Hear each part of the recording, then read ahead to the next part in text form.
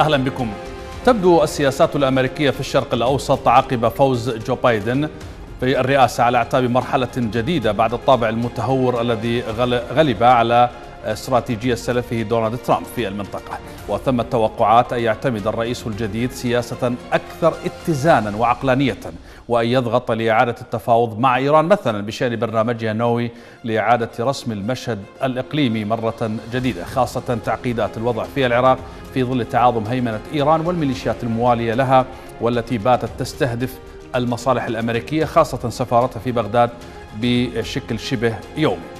السياسة الأمريكية الجديدة لإدارة بايدن في المنطقة في المنطقة. هو ما سنبحثه في حلقة الليلة من برنامج طاولة حوار وسنطرح فيها الأسئلة التالية. هل ستكون ثمة استراتيجية جديدة لإدارة الرئيس بايدن في المنطقة تختلف كليا عن استراتيجية سلفه ترامب؟ وهل ستكون هناك رؤية مختلفة لإدارة بايدن عن رؤيته السابقة بشأن العراق عندما كان نائبا لأوباما وهل تخلى بايدن عن مشروع أو فكرة تقسيم العراق إلى فيدراليات طائفية وقومية بعد انتهاء ظروف طرح هذه الفكرة والمشروع؟ وهل ستواصل إدارة بايدن الجديدة دعمها العملية السياسية الحالية في العراق حتى مع بلوغها عتبة الانهيار الكامل واستحالة تقويمها أو تصحيح مسارها؟ وهل سيواصل بايدن سياسة سلفي ترامب في خنق إيران اقتصاديا لإجبارها على إبرام اتفاق نووي جديد وفق شروط أمريكية مختلفة وجديدة ضيف الطاولة رافع الفلاحي عبد الحميد العاني عبد الوهاب القصاب. ترقب وحذر يسود الأوساط الإقليمية مع تنصيب جو بايدن رسميا رئيسا للولايات المتحدة الأمريكية وتزداد دائرة الحذر والتوتر في إيران وأذرعها في المنطقة. لتنظر ماذا فاعل بها بايدن حيث ترجو طهران أن يكون بايدن طوق نجاة لها لتستعيد دورها التخريبي إلى أيام ذروته التي شهدتها في عهد باراك أوباما. بانية هذا الحلم على أن بايدن رئيس ديمقراطي سيعمل نكاية بالجمهوريين خلاف سلفه ترامب.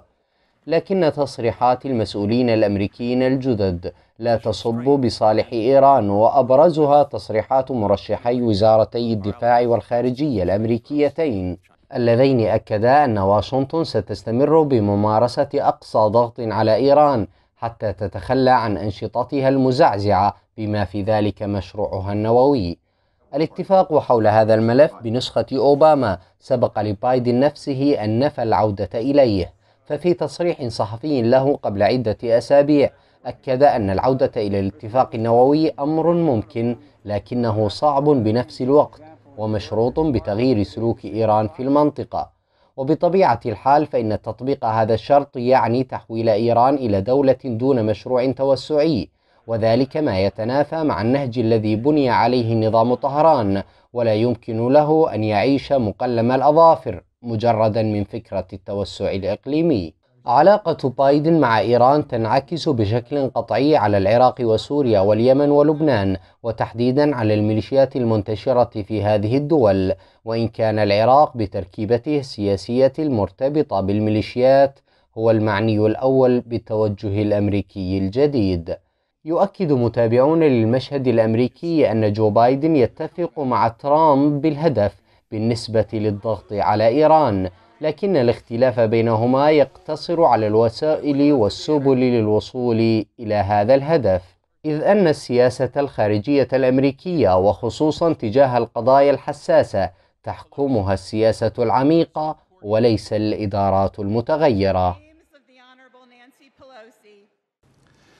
أهلا بكم مشاهدينا الكرام مرة أخرى في هذه الحلقة من طاولة حوار والتي ستبحث في الاستراتيجية الأمريكية الجديدة والمحتملة لإدارة الرئيس جو بايدن في المنطقة وخاصة العراق وطبعا إيران. ضيف طاولة الدكتور رافع الفلاحي الكاتب والباحث السياسي. والدكتور عبد الحميد العاني الناطق الرسمي باسم هيئة علماء المسلمين في العراق وسيكون معنا من العاصمة الأمريكية واشنطن الدكتور عبد الوهاب القصاب زميل المركز العربي للأبحاث. مرحبا بالضيوف الكرام جميعا. حياكم الله حياكم الله. نبدأ مع ضيفنا من واشنطن هو أقرب إلى الحدث وإلى الواقع وإلى صنع القرار دكتور عبد الوهاب القصاب في واشنطن. دكتور عبد الوهاب في ورقة لمجموعة الأزمات الدولية تقول أن إدارة بايدن أمامها تحدي كبير أو معضلة كبرى أو مشكلة كبيرة وهي أنها لا بد أن تغادر إرث وتركة ترامب إدارة ترامب السابقة لكن أيضا غير متاح لها أن ترجع إلى ما كانت عليه الأمور قبل تولي ترامب الرئاسة في أمريكا.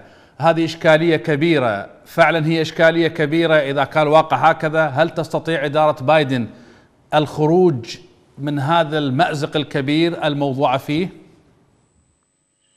أه تحياتي لك وللأخوة الأعزاء زملائي معك على الطاولة أه وللسادة المشاهدين. أه يعني بالتأكيد نحن الآن بأزاء أه سياسة خارجية جديدة يمكن أن نطلق عليها هكذا. باعتبار أن رئيس الولايات المتحدة حقيقة تحديدا هو مسؤول عن ملف العلاقات الخارجية. ونحن نغادر آه، حقبة آه، يمكن آه، تسميتها بحقبة اللا سياسة وحقبة اللا استراتيجية حقبة عبث بها الرئيس السابق بشكل مزري. نتج عنه هذا التغول الإيراني واسع النطاق في المشرق العربي وفي اليمن.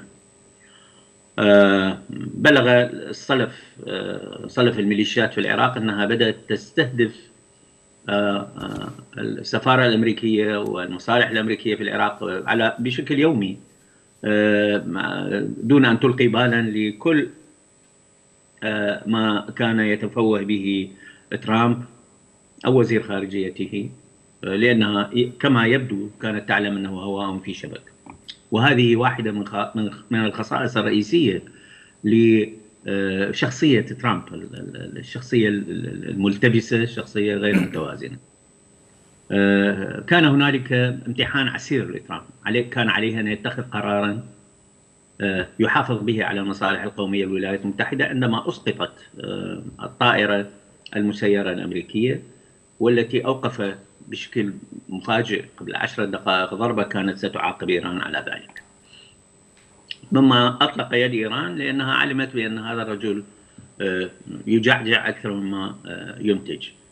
وأن العقوبات التي يفرضها لا تعني مؤسسة المعممين المعممين بشيء، تعني الشعب الإيراني مسكين لكن دكتور لكن دكتور آه، يعني ترامب تصفه بأنه يعني له جعجعة لكن آذى إيران وأوجعها باغتيال سليماني يعني وهو طبعا هذا الشخص يعني له مكانة تعرفها في إيران مع أيضا أبو مهدي المهندس كانت ضربة موجعة الذي الذي يفهم أو يعني أول أولويات وتراتبيات السياسة الخارجية الإيرانية سيصل إلى قناعة أن الأشخاص لا يعنون شيئا لمؤسسة المعممين.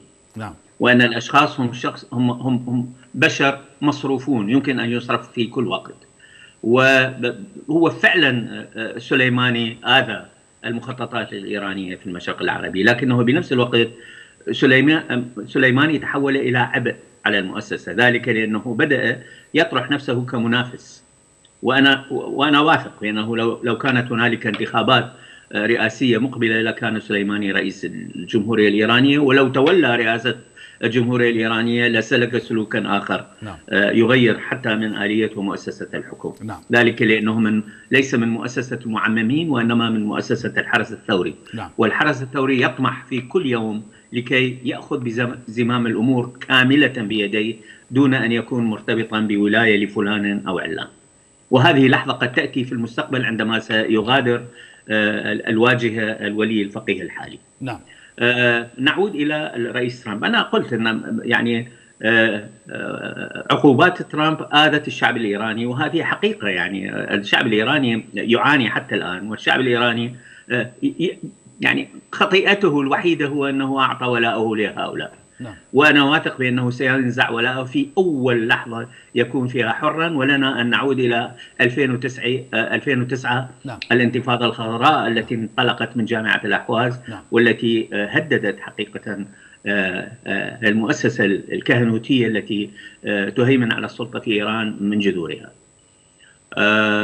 هذا هو هذا هو الحقيقة الآن نعود إلى الرئيس الرئيس بايدن الذي نعم. أضحى رئيسا للولايات المتحدة منذ أول أمس كانت أمام هذا الرئيس جملة من القرارات الفورية التي عليه أن يتخذ بها قرارات حازمة وحاسمة تعيد مسار الأمور في السياسة الخارجية للولايات المتحدة إلى مسارها. ولعل أول ما يمكن أن يتبادر إلى ذهننا هي آه، قرارات آه،. آه، القرار الأول يخص الشأن الداخلي حقيقة وهو الطريقة أيضا الفظة والغير المتوازنة وغير المنضبطة التي تعامل بها الرئيس ترامب مع أزمة الكوفيد 19 نعم.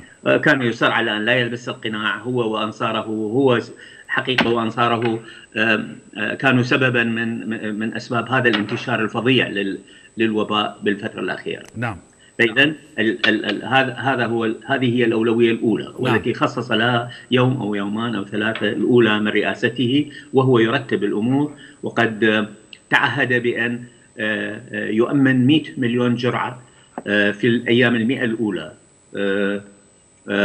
مما يعني مليون جرعة يوميا مما يعني حقيقة تلقيح ثلث المجتمع الأمريكي تحصينهم وهذا حقيقة لو نجح فيه لكان انجازا كبيرا ثم فرض لبس القناع الكمامة وهذا أيضا إنجاز كبير. ثم وضع الخبير المهم اللي هو فاوسي دكتور فاوسي على رأس مستشاري. دكتور أس أستميحك عذرا لأن الوقت عندنا ضيق ونحن الحقيقة نركز إيه. على تأثيرات أو استراتيجيات على المنطقة والعراق. يعني بس إذا سمحت لي.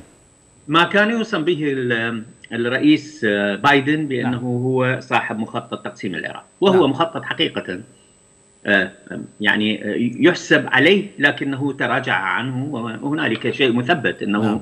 آه، لم يكن يتصور أن الشعب العراقي غير قابل للقسمة، شيء من هذا القبيل. نعم. وأظن أنه تراجع عن عن عن مخطط التقسيم دون أن يعني ذلك التراجع عن الفدرالية كأساس نظام حكم في العراق يعتبروه الأمريكيون إنه واحد من أنجح النظم في ال ال ال ال الوقت الحالي لأن نعم. لأنه مطبق بشكل ناجح في الولايات المتحدة مثلا دون أن يأخذون بالا إلى إلى درجة الوعي والتقدم السياسي نعم. وبعد ابعاد النظام الفدرالي.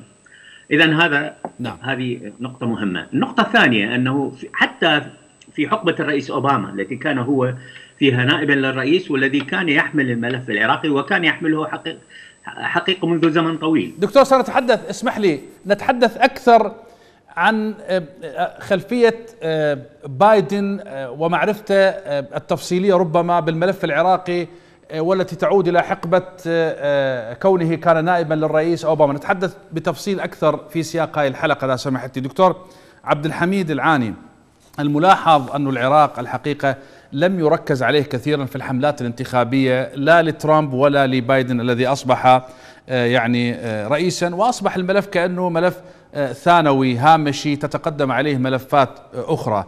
فعلا العراق لم يكن بالأهمية التي كان عليها في في السياسة الأمريكية في عقلية صانع القرار الأمريكي كما كان عليه الحال 2003 وما بعدها؟ لا بالعكس. يعني القضية أو الناحية العراقية الموضوع العراقي موضوع مهم جدا في السياسة الأمريكية وفي مشروعها في الشرق الأوسط عموما ولا يمكن أن تتخلى عنه بسهولة. لكن آه، لم يكن في آه، هذه الأوقات آه، يصعد أو يرتقي إلى الحدث الإعلامي الذي يركز عليه قياسا إلى الأحداث الأخرى التي باتت ربما اعلاميا وخاصة حينما يخاطب هؤلاء الساسة يخاطبون شعبهم ضمن آه، صراعاتهم أو حملاتهم الانتخابية السابقة، فكان هنالك أولويات، هذه الأولويات أكثر شيء كانت آه، منصبة أو موجهة إلى القضايا الداخلية. وكما أشار قبل قليل الدكتور عبد الوهاب آه، إلى جزء من هذه القضايا الداخلية. لذا رأينا أنه بايدن في أيامه الأولى ركز عليها الآن يعني في تنفيذ هذه الأمور. فاذا فاذا يعني عدم إيراد هذه القضية أو الموضوع العراقي في حملاتهم الانتخابية وما جرى ليس معناها تنازلا أو تراجعا لأهمية العراق وإنما تراجع فقط ناحية إعلامية وتقديم ملفات أخرى. وإلا نرى أنه لا يزال العراق هو آه، إلى الآن ساحة ضمن الأماكن التي يتم فيها الاختلاف أو تنفيذ الاختلاف بينهم وبين آه، آه، شريكهم في المنطقة وهو آه، إيران. نعم أشكرك. دكتور رافع الفلاحي طبعا سامحنا تاخرنا عليك. أهلا مرحبا. هلا دكتور. بعد حالة التصعيد الواضحة بين إيران وبين الولايات المتحدة الأمريكية بلغت ذروتها طبعا في آه، قتل إدارة ترامب للرجل القوي في النظام الإيراني قاسم سليماني قائد فيلق القدس. آه، الميليشيات الآن في حالة تصعيد ضد المصالح الأمريكية قصف شبه يومي آه، للسفارة الأمريكية في العراق وتهديدات أيضا مستمرة باستهداف المصالح الأمريكية وغيرها. هذا النظام الميليشياوي الموجود الآن في العراق الذي صممه الأمريكيون ويدعمه طبعا الإيرانيون.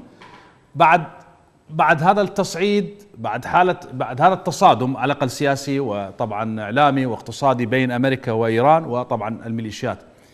هل سيبقى نظاما مدللا كما كان بعد عام 2003 يحظى بهذا السخاء والدعم غير المتناهي في ضوء ما يجري في العراق الآن من عملية آه، يعني آه، عض الأصابع بين إيران وميليشياتها من جهة وأمريكا من من جهة؟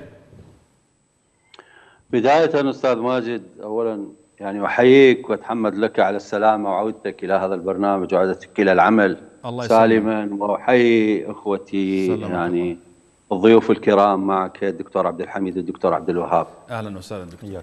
يعني في حديثنا عن ربما نحن نختار هذا الموضوع والحديث حضرتك اختارت هذا الموضوع في في فترة انتقال من عهد ترامب إلى عهد آه، بايدن. نعم. يعني عندما تدرس الموضوع وترى أمريكا تقرأ التاريخ كله وتقرا الرؤساء والسياسات الأمريكية ربما تخرج بعنوان هكذا خرجت بعنوان يعني ربما رئيسي هو سيقودنا إلى إلى سؤال حضرتك الإجابة عن سؤال حضرتك. نعم. هناك يعني ربما هذا العنوان هو آه، يعني هكذا تصوره اختلاف في التصرفات واتفاق بالأهداف.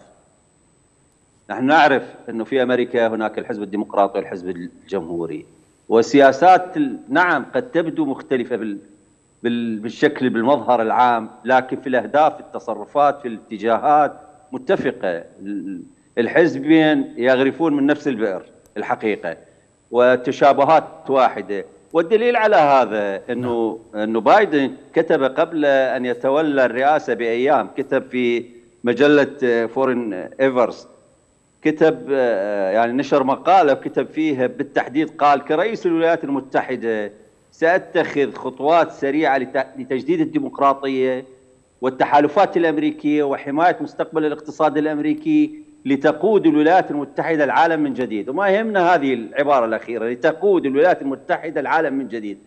هذا نفس الكلام اللي يقوله ترامب واللي قاله أوباما وقال بوش ويقول الجميع.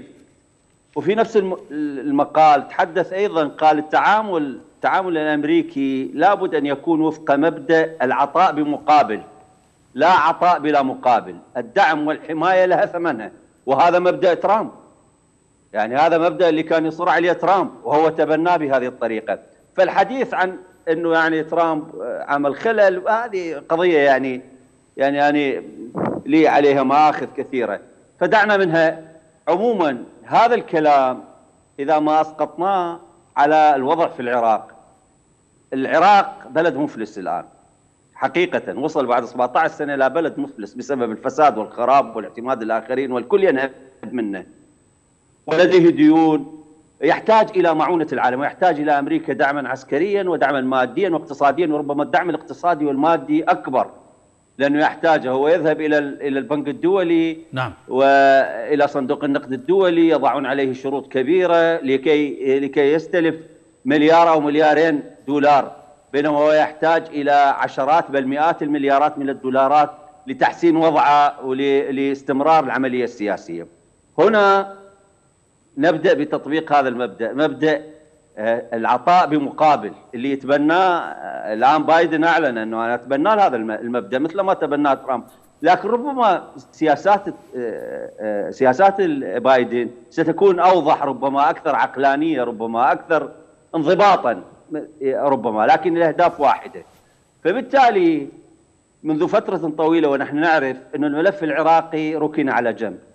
أمريكا أخذت مصالحها ما تتعامل مع العراق وفق يعني جعلته ساحة لصراحة مع إيران فقط. يعني العراق كان ورقة للتعامل مع إيران وما زال ورقة للتعامل مع إيران وبايدن سيتعامل بهذا الموضوع. البعض يتحدث إنه إيران ما دمنا قد أتينا على على ذكر إيران، البعض يتحدث إنه بايدن يعني هو علاقاته قوية مع إيران وهذا لا لا يعني شيئا. هناك قضيتين أساسية يجب أن يعني ننتبه إليها. هناك القضية الأولى هو أمن إسرائيل، هذا بالدرجة الأولى، والقضية الثانية هي النظام الدولي الجديد. هناك نظاما دوليا جديدا يشرف أن يعني يشرف على الخروج مرة أخرى. والولايات المتحدة لذلك بايدن قال يجب على الولايات المتحدة أن تقود العالم أيضا. يريدون أن تستمر قيادة قيادة دكتور اسمح لي في نقطة إذا سمحت لي. دكتور رافع اسمح لي. أهمية العراق. نعم. أشكرك. في نقطة العراق وإيران. هذا النظام الموجود الآن في العراق الأمريكيون دفعوا من أجل تصميمه طبعا دماء كثيرة آلاف الجنود قتلوا عام 2003 الآن هذا العراق الجديد في الخندق الإيراني. هناك ميليشيات وأذرع وفرق موت آه، موالية لإيران. آه، في حالة حرب مع على الأقل معلن ظاهرا مع آه، أمريكا. استهداف لسفارتها استهداف لأرتالها العسكرية استهداف لمصالح حيوية أخرى وما إلى ذلك. تعتقد أن الولايات المتحدة نعم. الأمريكية متضررة من من هذه الممارسات من حالة الحرب التي تعلنها الميليشيات ضدها أم القضية جزء من لعبة متفق عليها ومرسومة؟ أم أن الأمر قد خرج من يد الولايات المتحدة الأمريكية وبالتالي خرج عن السيطرة ولن تستطيع أن تفعل شيء أستاذ ماجد هذا الموضوع كان كان قديم ليس جديد لكن نعم. الولايات المتحدة لم تكن تعيره أي انتباه ولكن لم تكن تهتم له لكن عندما بدأ الصراع هذه المماحكات هذه المعاكسات مع إيران بدأ الموضوع يهمها هذا الموضوع من البداية هي من دفعت يعني هي من قدمت العراق على طبق من ذهب مثل ما يقولون لإيران. هي من سمحت تحت غطائها أن تتشكل هذه الميليشيات. هي لديها أهداف تتفق فيها مع إيران وهي تحطيم العراق أضعاف العراق. وهذا هدف أساسي تتفق إيران وأمريكا عليه. لذلك تخادموا في العراق طوال هذه السنوات. لكن في هذه القضية تعاكسوا. الآن بدأت القضية الميليشيات تتحرش بأمريكا. بأوامر إيرانية لغرض آه، يعني بعث رسائل نعم. آه، إيرانية ومنها حتى التفجير الذي حدث قبل يومين نعم. يعني أول أمس اللي حدث هذا أو أو أمس اللي حدث هذا التفجير هذا هذا جزء من من هذه الرسائل الإيرانية نعم. داعش ما داعش هذه قضية ونحن يعني هاي مو عقائدية مو عقيدتنا هذه كذبة كبيرة نعم. داعش الآن نعرف بمن تقاد وكيف تقاد وهذه هذه قضية أخرى فالقضية الآن يعني هذه جزء من لعبة إيرانية. تريد أن تقول أنه إيران لدينا يد طولة في العراق ومصالح أمريكا في المنطقة وفي العراق مهددة وعلى أمريكا بايدن أن أن تحسب حسابها وترى الأمور بشكل آخر وتسمح للسياسة الإيرانية أن تمضي في طريقها. وهنا العقبة. هنا تبدي النقطة الثانية اللي هي آه، آه، أمن أمن إسرائيل التي لا تريد من من إيران أن تمتلك السلاح النووي. وهذه نعم. هي القضية المهمة. وأمريكا لن لن تتراجع في عهد ترامب في عهد بوش في عهد من سيأتي بعد بايدن. بايدن لن تتراجع هذا المبدأ. إيران يجب أن لا تمتلك هذا السلاح. سنتحدث دكتور. قضية باكستان مرة أخرى اسمع لي. نتحدث عن عن احتمالية عودة إدارة بايدن إلى اتفاق نووي مع إيران لكن بشروط هناك من يتحدث أنها شروط قاسية ومهينة ومذلة وليس الأمر كما كان في عهد أوباما عندما أبرم هذا الاتفاق النووي بين يعني أمريكا وبين إيران مع بقية القوى الخمسة القوى الدولية الخمسة. اسمح لي أيضا والضيوف الكرام نتوقف عند هذا الفاصل القصير ثم نعود لإكمال النقاش في حلقة الليلة عن الرؤية الاستراتيجية أو استراتيجية أو الرؤية الأمريكية المحتملة والمتوقعة لإدارة بايدن للتعامل آه، مع آه، المنطقة. طبعا ما يهمنا هو العراق وما يتعلق بالعراق إيران وما آه، إلى ذلك. بعد الفاصل نعود لإكمال النقاش ابقوا معنا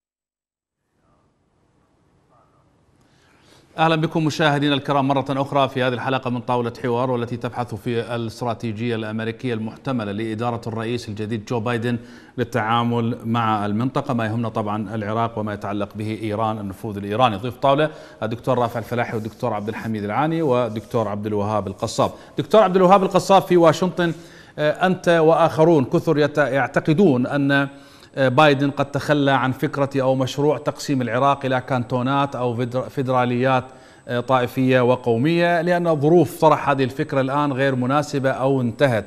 وهناك حديث أنه قد تكون للإدارة الجديدة رؤية مختلفة للتعامل مع الوضع في العراق وتعقيداته وما إلى ذلك.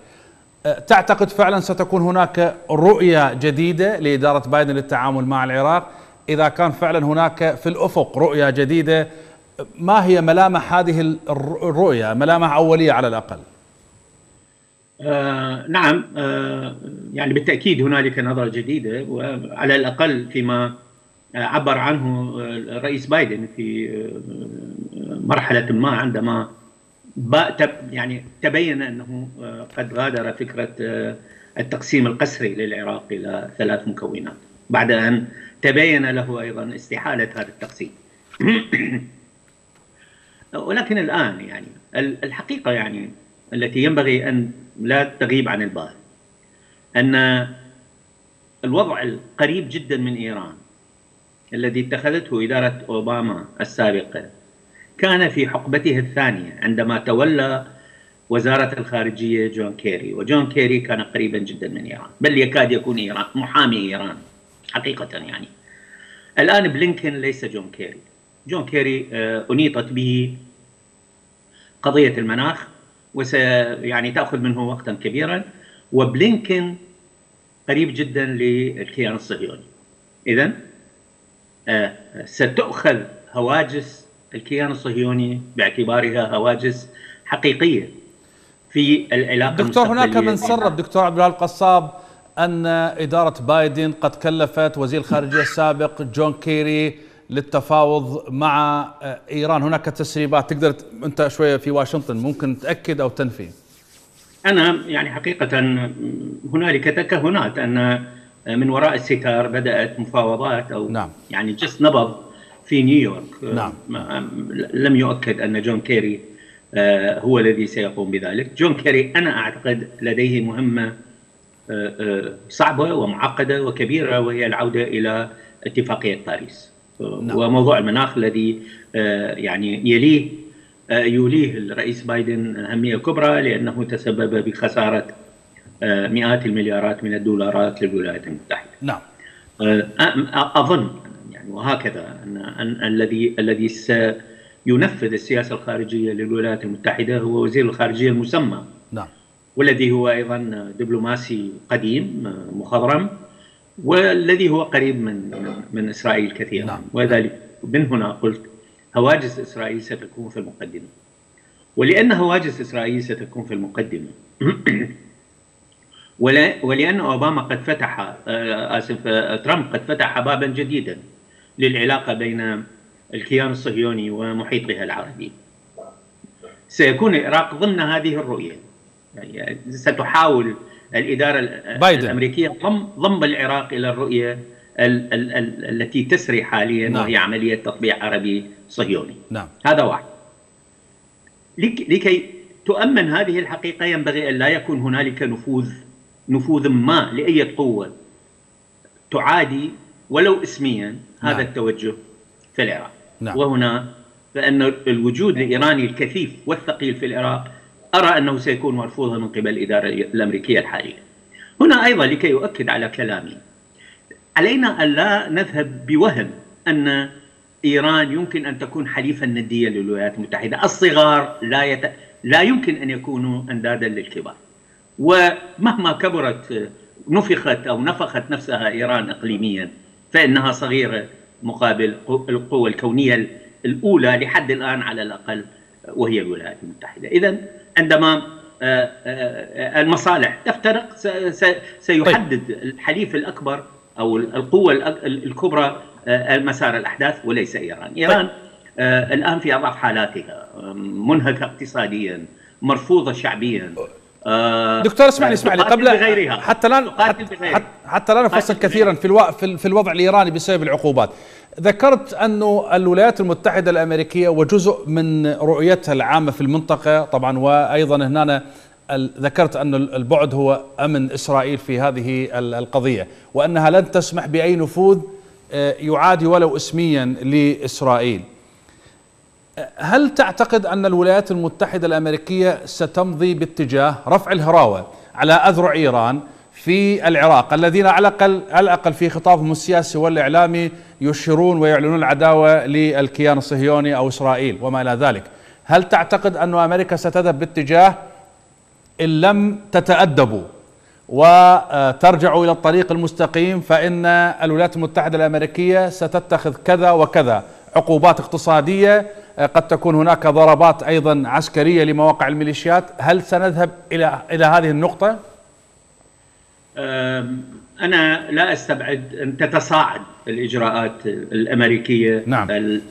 الصارمة حيال الميليشيات بدأت حقيقة يعني في حقبة ترامب بومبيو آه، أدخل فالح الفياض في آه، يعني مركب العقوبات.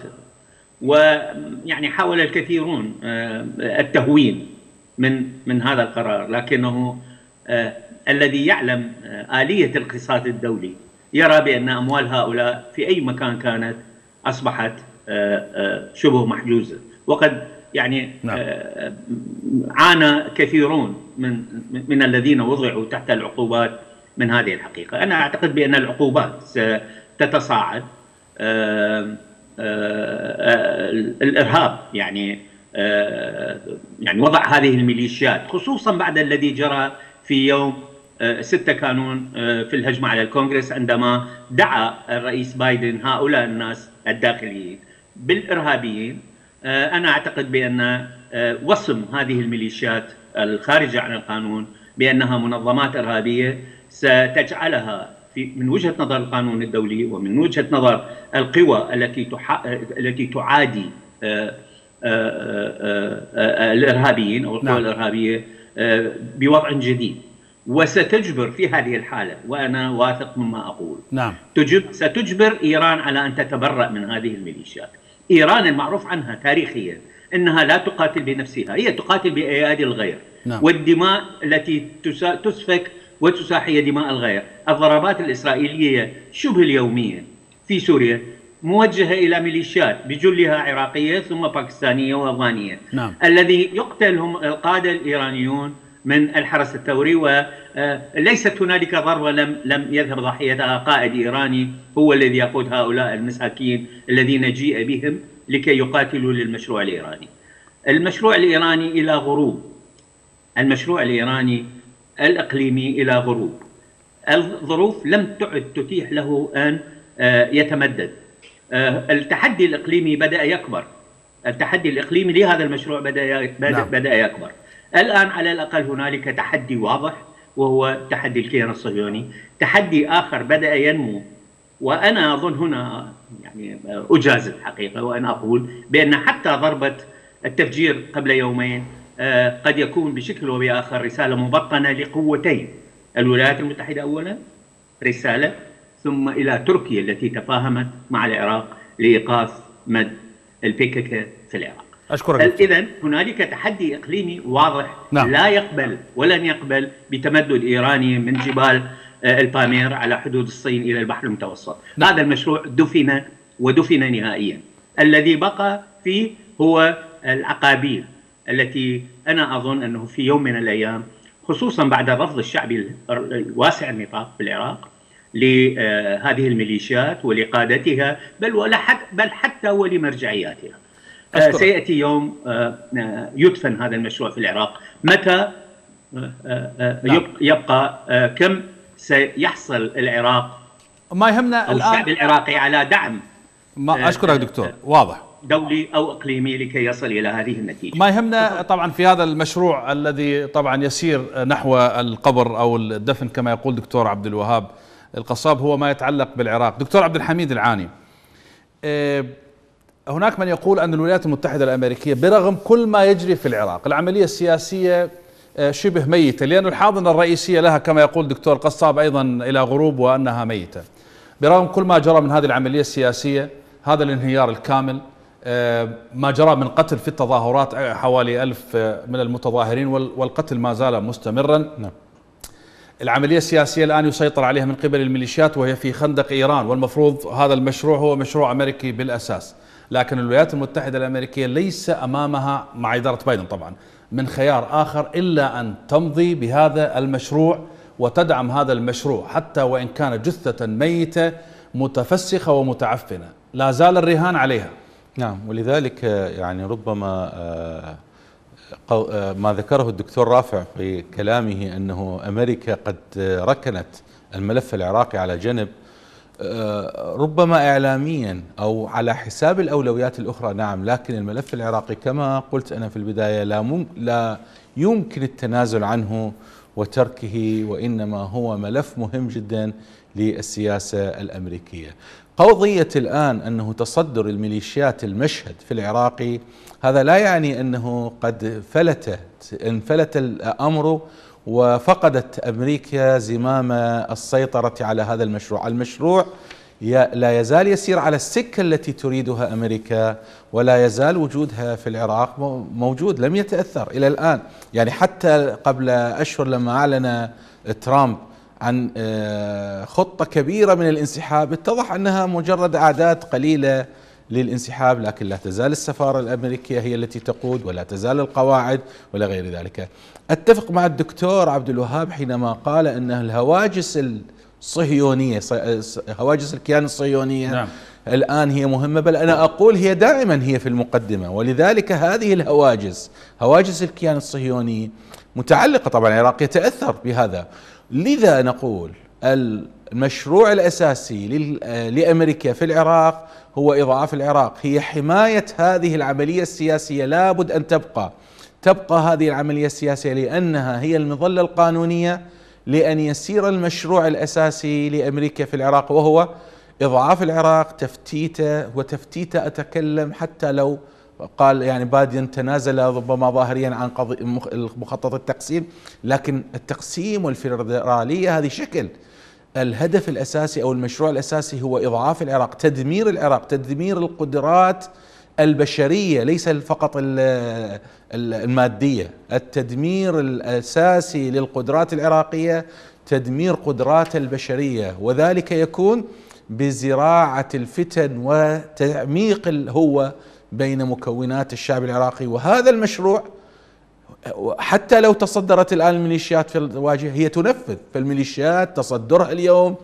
المشهد إنما هي أدوات لتنفيذ هذا المشروع نعم. الأمريكي. وإن كان ربما البعض يحلله على أنه آه، فوز أو ربما نوع من آه، رجحان كفة إيران في في العراق تحديدا. نعم هذا صحيح. لكن أمريكا تسمح بمثل هذه المساحة من التحركات لعدوها لمخالفها. أحيانا للحليف أو للمخالف لها في حدود أنها تحقق مصالحها الكبرى ومشروعها الأساسي وأهدافها بعيدة المدى وهو الخط الاستراتيجي نعم. أما التكتيكات كما هو معروف فهي نعم. ممكن تتغير بتغير الزمان وتغير المصالح نعم. دكتور رافع الفلاحي المسؤولون الجدد في إدارة آه، إدارة بايدن أطلقوا جملة تصريحات الحقيقة ضد إيران. فمثلا مرشح بايدن لوزارة الدفاع لويد أوستن قال إن إيران ما زالت تمثل تهديدا لحلفاء الولايات المتحدة في المنطقة وقواتها في الشرق الأوسط. وأيضا وزير الخارجية الجديد بلينكن قال لست حزينا لا أشعر بالحزن على مقتل سليماني بسبب الدماء الدماء التي سببها. وأيضا هناك تعهد بعدم السماح لإيران بامتلاك سلاح نووي. كل هذه التصريحات فيها يعني في ثناياها. كأنه طبعا قرأت هكذا على أنها ثناء على سياسة ترامب في التعامل مع إيران ومع أطراف إيران أو أذرع إيران. وأيضا فيها إشارة إلى أن الإدارة الجديدة ستمضي على نفس هذا الطريق وربما أكثر تشددا وبالتالي هناك تأثيرات ومزيد من الضغط على النظام الميليشياوي الموجود في العراق الذي تلابيبه بيد إيران وبالتالي هناك عملية إضعاف لهذا النظام في المستقبل إضعافه من إضعاف الأصل إيران نعم هذا حقيقي أستاذ ماجد نعم. لذلك يعني عندما تحدث دكتور عبد الوهاب عن هواجس هواجس إسرائيل وأنا قلت نعم. أمن إسرائيل واحدة من النقاط الأساسية. هذا هذا هو هذا. يعني مهما كان الرئيس القادم بايدن غير بايدن آه، كان يعاد ترامب آه، يأتون بآخر. نفس السياسة. لأن أمريكا تعتبر يعني ضمان أمن إسرائيل وقوتها وتفوقها هذا رقم واحد. فلذلك آه، لا يسمحون إيران غير واقعية بالتصرف. إيران صرفت كل أموالها كل ملياراتها اللي ادخرت كل قدراتها عسكرت المجتمع جوعت الشعب من أجل مشروعها ومشروعها هو أن تتمدد في المنطقة وتكون قوة إقليمية لها وزنها في وهي تعتقد إنه لكي تكون قوة إقليمية عليها أن تتوسع في المساحة تأخذ مساحات تسيطر عليها ويكون لديها سلاح آه، ردع قوي وهو السلاح النووي. وهذا السلاح لن تستطيع الحصول عليه مهما فعلت.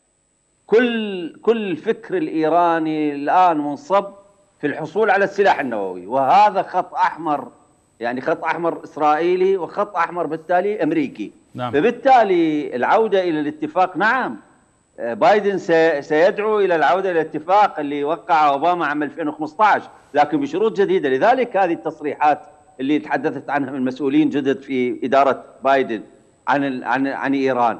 هذا وضع طبيعي لكي يعيدوا إيران إلى واقعية. يقولون لإيران كوني واقعية في سياسة. هذا المشروع انتهى صفر. مهما كان الرئيس يجب أن ينتهي. لذلك عندما يقول أن المشروع يعني الدكتور عبد الوهاب عندما يقول أن المشروع الإيراني إلى إلى غروب إلى نهاية فعلا. لأنه يجب أن ينتهي هذا. هذا لن يسمحوا به. وإيران تعتقد أن قرونها القوية هي في هذا السلاح النووي. نعم. هذا من ما تقاتل به. إذا ما انتهى هذا المشروع انتهت إيران وهي فعليا ستنتهي. وأمريكا شئنا وأبينا لديها حلفاء في الخليج. كثر وتعتمد عليهم ويعتمدون عليها ويدفعون. وهذا المبدأ التعامل ومبدا العطاء بمقابل هذا موجود. اذا على أمريكا يعني رقم واحد إسرائيل وحلفائها في المنطقة ومصالحها كلها معرضة إلى الخطر إذا ما استمر هذا المشروع الإيراني ليس حبا في العراق وليس حبا في المنطقة ولا ليس لها علاقة ميليشيات تقتل تذبح آه، تفض مظاهرات ما أعرف منه هذا ليس له علاقة في أمريكا. أمريكا لا يعني لا تهتم لهذا الموضوع. ولو نذكر أنه الميليشيات هذه كانت تقاتل تحت الغطاء الأمريكي نعم. طوال سنوات في العراق. لا تعنيها شيئا لكن عندما تصطدم مع مصالح إسرائيل ومع مصالحها الذاتية هنا الخط الأحمر يبدو واضح وأمريكا تصدى لهذا لذلك القادم فيه إشارات واضحة للصواريخ الإيرانية يجب أن تنتهي منها وهذا سينزع يعني آه، سيقلع أسنان إيران. يعني هذا هذا النمر اللي من ورق سيصبح فعليا نمرا من ورق. فعليا وبالتالي المنطقة يجب أن مثل ما قال بايدن نعم. قبل قبل أن أن يتوج رئيس ومثل ما يقول كل المسؤولين المنطقة يجب أن تستقر استقرار المنطقة بهذا الموضوع إيران مشروعها ماضي إلى الهلاك إلى إلى الذهاب وهي صرفت كل هذه الأموال صرفت كل هذه نعم. هذا التوسع هذا هذا النمو العسكري بهذا الشكل اللي تفخر به هذا هذا ليس له ثمن. هذا على كله على حساب الشعب حساب التنمية حساب الاقتصاد لذلك إيران تخلفت كثيرا بهذه السنوات من أجل أن تنمو عسكريا وهذا النمو العسكري له حساباته وصلوا إلى الحد الذي سينهون فيه هذا هذا النمو العسكري وبالتالي هذا سينعكس على العراق، العراق ورقة في هذا الموضوع. نعم. العراق والميليشيات ورقة، نعم الميليشيات وإيران براغماتية. سيحاولون بكل الطرق أن مثل ما قال الدكتور عبد الوهاب ستتخلى عنهم، لكن هذا التخلي لا يعني شيء. العراق سيطلبون المساعدة من أمريكا، هذه المساعدة مادية وسياسية وعسكرية، هذه بثمن. على العراق أن يكون واضح. هذا النظام عليه أن يكون واضح. عملية سياسية غير عملية سياسية لا يعني شيئا. يجب أن يكون واضح أنت مع من؟ نحن داخلين في صراع مع إيران، إيران يجب أن ينتهي هذا المشروع لأن هذا المشروع يضر بمصالح أمريكا دكتور في نقطة قريبة قريبة من هذا الذي تتحدث جنابك الكريم عنها نسأل عنها دكتور عبد الوهاب القصاب. دكتور المسؤولو الإدارة الأمريكية الجدد أطلقوا إشارات أنه هناك استعداد للعودة إلى اتفاق نووي مع إيران لكن بشروط جديدة. المراقبون يتحدثون أن هذه الشروط ستكون قاسية ومذلة ومهينة آه، لإيران، باعتقادك ما هي هذه الشروط؟ هل ستقبل بها إيران آه، على مضض؟ إيران الآن مخنوقة اقتصاديا، ستقبل بهذه الشروط ايا كانت قسوتها ومرارتها وإهانتها لتتنفس قليلا من هذا الواقع الذي هو فيه اقتصاديا. آه نعم. آه يعني قبل أن أجيب على هذا السؤال حقيقة جوابي نعم آه اوليا ثم سأفصل لكن قبل أن أجيب نعم. آه وآخذ من آه ما تفضل به أخي العزيز وصديقي أبو مروان آه نعم. دكتور. إيران حقيقة نمر من ورق. انظر إلى المحيط الإقليمي لإيران وقارن بين القدرات مخرجات القدرة الاستراتيجية للمحيط الإقليمي ولإيران. إيران تحدها من الجنوب الباكستان والباكستان قوة نووية من الدرجة الأولى. لديها 250 رأس نووي. قل لي بربك ماذا يعني رأس نووي واحد بدائي أمام 250 هذه القوة الإقليمية الأولى التي إيران أمامها صفر حقيقة. من الشمال لدينا روسيا وروسيا واضحة. فما الذي يعني آه الترسانة النووية الهائلة لروسيا مقابل رأس نووي بدائي. تريد إيران أو تطمح إيران لصناعته. هذا هو الصفر الثاني. الصفر الثالث إلى الشمال الغربي وهي تركيا. وتركيا الآن هي القوة الإقليمية الأولى الموجودة في آه، وسط آسيا جنوب أوروبا وشمال الشرق الأوسط. ماذا يعني دولة آه، من دول الحلف الأطلسي؟ أمام دولة لديها قنبلة نووية بدائية واحدة. وأخيرا الكيان الصهيوني الذي يتوفر على 300 رأس نووي مقابل رأس نووي واحد. الرأس الخيار النووي الإيراني خلق لديه ورقة آه، آه، مبكرة جدا. خلق ليرعب العرب، ليبتز العرب. وقد حقيقة وصل إلى ما يريد، لكن الآن هذه اللعبة انتهت. هذا واحد. نأتي إلى الموضوع الثاني الذي تفضلت وسألت عنه. الآن هل أن إيران ستمضي بروح التحدي التي وسمت آه، خطابها؟ هنا أيضا علينا أن نستذكر أيام الحرب أيام القادسية أيام الحرب العراقية الإيرانية. في كل يوم كان هنالك خطاب مجعجع يبشر بأنهم سيصبحون في كربلاء ثم إلى الحرمين.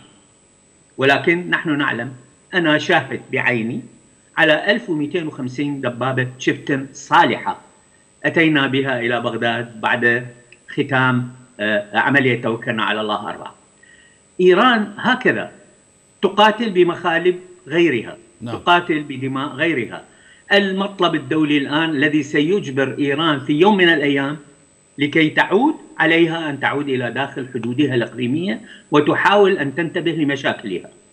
عند ذلك يمكن التفاهم معها حتى إقليميا. أما هكذا إيران آه، بهذا الصوت المجعجع العالي بالدماء التي تسفك من بيروت وإلى آه، أفغانستان وإلى آه، باب المندب مرورا بالعراق هذه الإيران لن يسمح لها أن تبقى إقليميا ودوليا في المكان. هل أن الشروط الآن الجواب الذي قلت لك إي والله باختصار نعم. دكتور عدد دقيقتين هل أن الشروط نعم هل أن الشروط الأمريكية الجديدة آه، مهينة؟ الجواب أن ما تريده الولايات المتحدة من إيران هو أن تعترف بالحقيقة التي قلتها، أن تعود إلى حدودها، عندئذ يمكن التفاهم معها. أنا أشعر بأنه لن يسمح لها بصاروخ بالستي مدى أكثر من 150 كيلومتر. ابدا. وأنا هنا أعيد النظر إلى اتفاق 687 مع العراق. لن يسمح لها بأي صاروخ يتجاوز مدى 150 كيلو وربما أقل إذا ما حسب التواجد الأمريكي على الساحل آه، الغربي للخليج العربي. ربما 100 كيلو متر ليس أكثر. نعم. لن يسمح لها بأي خطوة يشم منها الذهاب إلى خيار نووي عسكري. أما طاقة نووية سلمية وأما لا طاقة نووية على الإطلاق. كيف سيتم هذا بالضربة العسكرية؟ الجواب لا. الجواب بالضغط الاقتصادي وبالضغط الإقليمي وبالرسائل التي تعبر. آه، تفضلت وقلت قبل قليل ربما كيري. أنا حتى لو كان كيري قد استخدم في هذه المرحلة استخدم لإيصال رسالة واضحة لإيران. لا تحلموا بأن نعود إلى ما كان بالاتفاق النووي الذي خرجنا منه إلا تحت شروط جديدة والشروط الجديدة يتفق الآن الروس والأوروبيون أشكرك. مع الولايات المتحدة عليها لا حضور إقليمي لا صواريخ باليستية آه، ذات مدارات بعيدة أظن هذه هي الصفقة التي آه، سيتم التفاوض نعم. عليها علينا هنا أيضا أن نأخذ بنظر الاعتبار وعلى الأمريكيين أيضا يعني أنا لست في في في مجال نصحهم لكن عليهم أن يأخذوا هل هذه الثعلبية الإيرانية في. التفاوض هذه المهارة الدبلوماسية آه، عالية النطاق في عملية التسويف والمماطلة وأنهم يبنون على كلمة ويحرفون المفاوضات من مسارها لكن يبقى الهدف الأخير. عودوا إلى حدودكم. لا صواريخ دكتور. أنا أشكرك دكتور. اعتذر من عندك لأن يضغط علي أنه الحقيقة الوقت آه، انتهى تماما. شكرا لضيفنا من واشنطن الدكتور عبد الوهاب القصاب زميل المركز العربي للأبحاث. وشكرا أيضا للدكتور رافع الفلاحي الكاتب والباحث السياسي. وشكرا للدكتور عبد الحميد العاني هنا الناطق الرسمي باسم هيئة علماء المسلمين في العراق.